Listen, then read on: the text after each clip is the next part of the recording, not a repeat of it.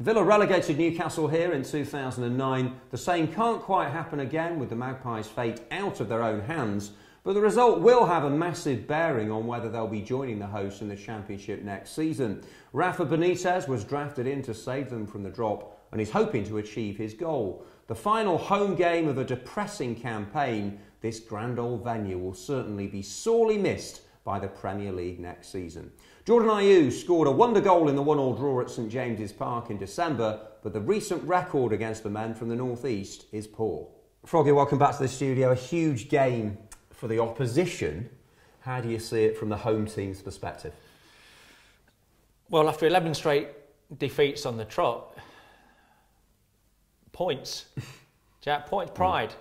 It's not even points now, is it? Because points don't make a difference to anything we're doing. It, it's now all about pride pride in the shirt, pride, pride in yourself. You know, you don't want to be going away in the summer holidays on the back of 13 straight defeats. Mm. You don't. They've got to show some fight and uh, against a team that, believe you me, under Rafa Benitez, they will fight. They have been fighting. They've been showing their fans how much they don't want to go down because they shouldn't have been in the position they're in with the, with the players that they've got. But with an unsettled defence and they haven't been firing with goals in the opposite direction, um, you know, they've had a really disappointing season themselves. There will be an intensity given Newcastle's precarious position. Their fate is out of their hands. They're on 33, but they've played the extra game.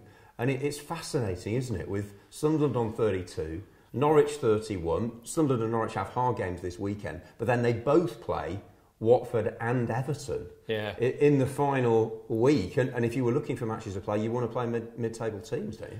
You would certainly, yeah, you would do. Um, and Newcastle will be coming in, to, you know, to the game at the weekend, and they'll be fully expecting three points, Jack, because mm. they'll be mm. looking at us, 11 games on the bounce, playing in front of the home crowd, where it's been quite hostile in, in recent times, and they'll be thinking, right, get stuck into them for the first 10, 15 minutes, get the first goal. Get the first goal because they will see, this is the opposition manager, will be saying, yeah. they will crumble. That's what Rafa will be instilling mm. into his players. Get the first goal and they will fold.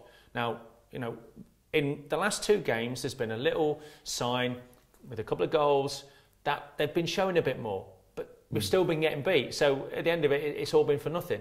Yeah, nice shirt, by the way. Summer must be here. We are having some very pleasant weather, but just looking around, Froggy, this is it. We're going to get quite emotional because it's the final home Premier League game for now for Aston Villa. It so is. You, you, know, it must make you think and look back. as for me and for you as an ex-player, just on some of the, the great moments you had here. Yeah, and uh, for me, it fills me with great sadness, Jack, because mm. I, I, know prior to me being born, Villa had, you know, um, my father-in-law used to watch the team when they were in the, mm. the lower divisions, where it really was difficult for the club.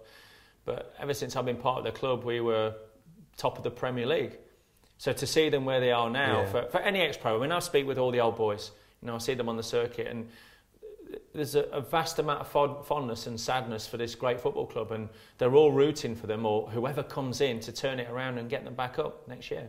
Okay, much more analysis over on AVTV HD. Tony Morley back alongside me for live commentary on Saturday afternoon. We'll see you then.